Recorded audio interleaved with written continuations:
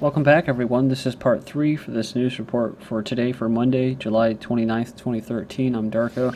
My channels are DDarko2012, and if you could, subscribe to DDarko2013 because uh, eventually I'm just going to stop posting to the 2012 account so they don't pull my channel. But, um, alright, I'm going to cover a little bit of Trayvon case. Um, there's an article, a story. I, I just didn't even go that viral. I was kind of shocked by it, but um, here we go. Trayvon's mom, he was just a kid trying to get home. So Trayvon Martin's parents made appearances on three of the major networks today, telling each interviewer that they were shocked by the verdict. We felt in our hearts that we were going to get a conviction. And you remember the famous quote by the prosecutor uh, who's representing the family, which said, remember what she said? She goes, I was, I'm a social engineer. That's what she said. Black Panther's $10,000 bounty to capture George Zimmerman dead or alive was from 2012. So reports emerging this week that the Black, Panthers had offered 10,000 bucks uh, dead for dead, dead or alive capture of George Zimmerman was in fact from March 2012 before George Zimmerman was arrested for the Trayvon Martin killing. Numerous outlets reported the news of the bounty as if it was just announced as a response to the Zimmerman not guilty verdict. However, the story was based on a video from 2012 and is not new. So the reality is that the, you know, I don't know. I don't even want to say it because I'll get commenters and subscribers that will just go in there and leave a hundred freaking comments, so I'm not even going to touch that crap. George Zimmerman emerged from hiding for a truck crash rescue, so the murdering Zimmerman, who shot somebody in cold blood, has been hiding since he was acquitted of murder. And the death of Trayvon Martin emerged to help rescue a family who was uh, basically trapped in an overturned vehicle, police said uh, today. So this was actually July 22nd. He was one of the two men who came to the aid of Dana and Mark Gersel and their two children who were trapped inside a blue Ford Explorer SUV that had rolled over after traveling off the highway in Sanford, Florida at, at approximately 5:45 p.m. Thursday. Crash occurred in the intersection of I-4 and Route 46. The crash site is less than a mile from where Zimmerman shot Martin. By the time police arrived, two people, including Zimmerman, had already helped the family get out of the overturned car. The sheriff's office said no one was reported to be injured. It was the first known sighting of Zimmerman since he left the courtroom. And while beating and robbing a white man, three black men say, This is for Trayvon. So here we go again. Yet another innocent person was violently victimized in the name of Trayvon Martin. So if, I guess the author says they'll be waiting for Eric Holder to speak out against this obvious hate crime. So from WAPO, it says here a Bethesda man was beaten and robbed early sa uh, Saturday morning in Adams, Morgan by three men who yelled, This is for Trayvon Martin before attacking him, police said. So It says here the men approached the adult white male from behind while he was walking into this uh, Euclid Street Northwest at 1:26 a.m. So, two of the men threw the victim to the ground and kicked him. Uh, says here, the three perpetrators then took the victim's iPhone and wallet and fled. says fortunately the victim was not seriously injured in the attack. And this is from McClatchy, so uh, they usually put out some pretty good uh, some pretty good pro-establishment propaganda. Stand Your Ground helped Zimmerman get away with murder, Trayvon's mom says. So the mother of Trayvon Martin said Monday that she believed Florida's Stand Your Ground law played a role in her son's shooting death, but she wasn't ready to support a boycott of the state for not charging or changing the self-defense law. I think we have to change these laws so people don't get away with murder, she said, adding that her son was unarmed and peacefully walking back to his dad's place when he was initially pursued by George Zimmerman. It's like I said before, whether um, whether Zimmerman was guilty or not, his life was over uh, pretty much. I mean, he can't really go out, and when he did, he's saving people. So I mean, but he's got to wear a bulletproof vest. He's got to be able to. He's got to be able to try to carry his firearm if they even let him uh, do that again. Uh, but this is, but, but it's not just that; it's lose lose. So, even in the hearts and minds of people, gun owners, when they're ready to defend themselves, uh, they have to, especially from someone that's not their race, they have to be very, very, um, uh, you know, hesitant before they're actually able to defend themselves. They have to think about, well, do I want to spend a year or two in jail and lose my life and my savings and everything, and my job, whatever, and my reputation, and go in hiding? Uh, just so I can defend myself. So every, uh, you know, this is what it's going to be uh, about, basically. So yeah, you know, the whole standing your ground. This was about not standing your ground. That's that's why I think it was a big psyop. Nursing home resident dead after confrontation with police. 95-year-old resident of an Illinois nursing home died early Saturday It says hours after being shocked with a taser and beanbag rounds in a confrontation with police, authorities said that the resident of Victoria's uh, Center of Park Forest, uh, it says here, was threatening paramedics and staff with a cane and a metal shoehorn when police arrived at the complex. Police said they struck him with a taser and a beanbag rounds after he threatened officers with a 12-inch butcher knife. I've covered articles like this before, um, where people don't want the uh, uh, people, uh, basically these older people, they don't want to be helped or they don't want people coming in their homes or in this case in their rooms and then uh, and the police actually who are supposed to be supposedly helping them uh, uh, don't. I think the one case I'm, I'm referring to, the example was uh, someone had some kind of medical device and it ticked off by accident and they came in there and he didn't want them in there. So they basically tased them and beat them up. Uh, militarized SWAT forcefully evict elderly women from foreclosed home. Fail to pay your mortgage due to the collapsed economy, SWAT members may show up wearing full military gear in order to forcefully evict you from your home at the direction of international banking cartels.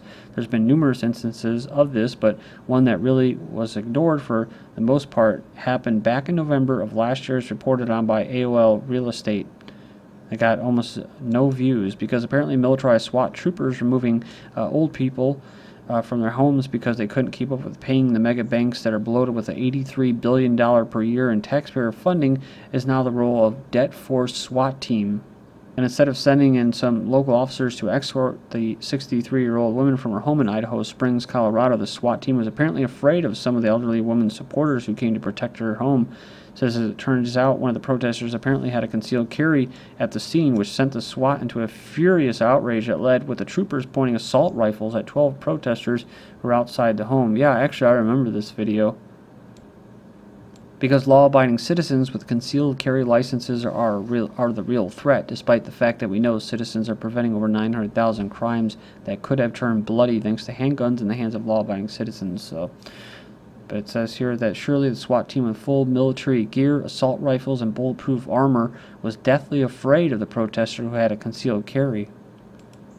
It was like a firing squad. Deputies shoot Florida man in his own front yard. This is today uh, says here, state law enforcement officials in Florida are investigating the shooting of a six-year-old man inside his front yard by deputies with the sheriff's office in Escambia County. It was like a firing squad. The victim, Roy Middleton, told the Pensacola News Journal on Saturday bullets were flying everywhere.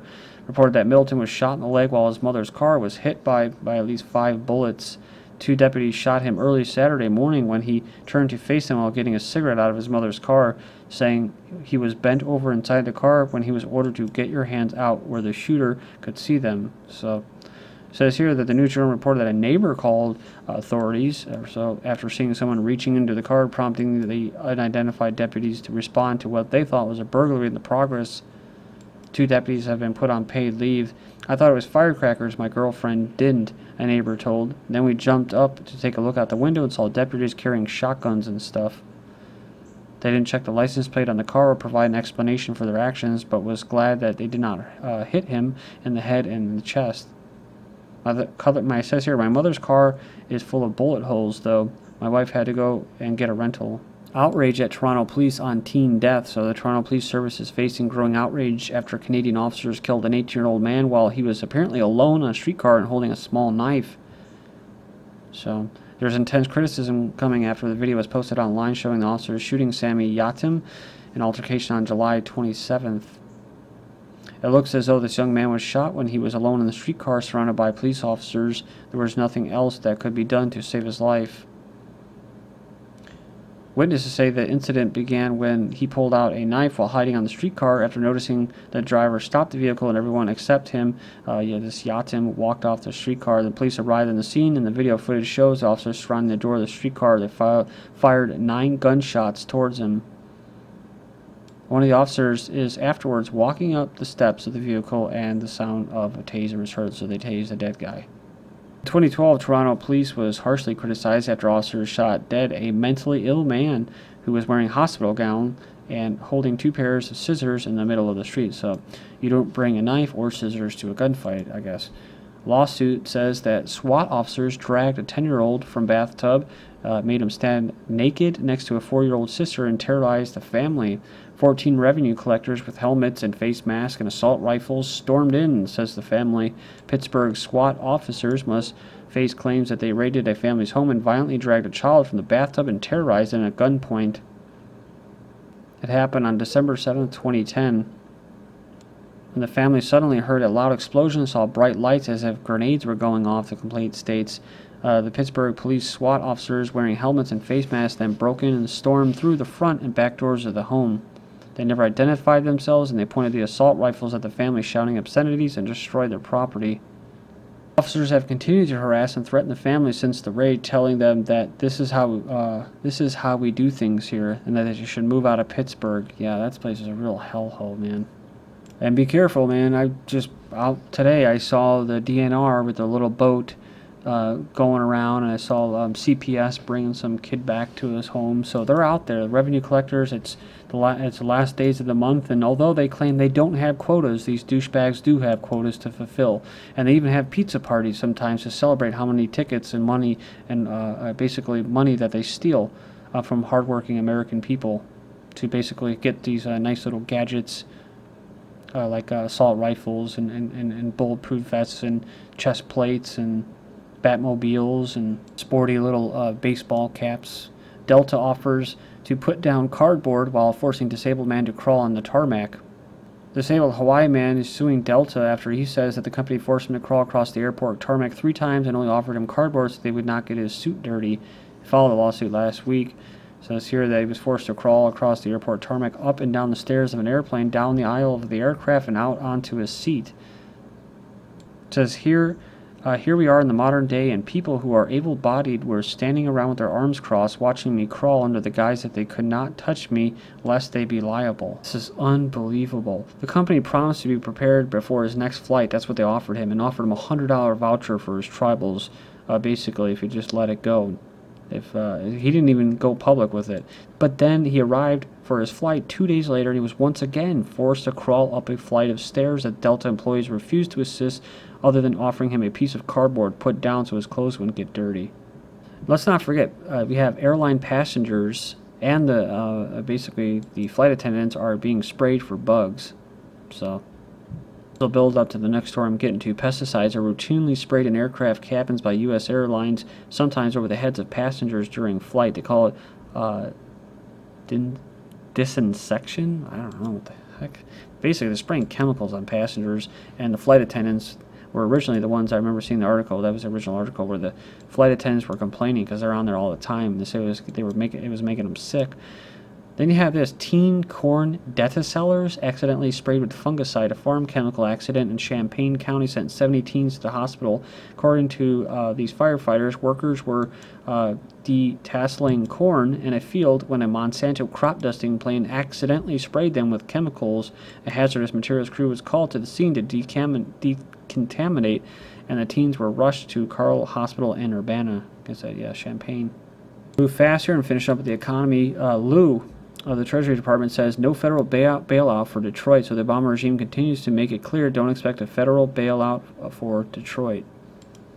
But new new 440 million dollar hockey arena is still a go in Detroit. Detroit's financial crisis hasn't derailed the city's plans to spend more than 400 million dollars in Michigan taxpayer funds on a new hockey arena for the Red Wings. So go go figure, right? When in Rome and uh, keep the keep the games going, the gladiator games going. Uh, let them eat cake. Make sure you have a huge freaking police state to bat them over the heads and protect private property. That's corporations' property.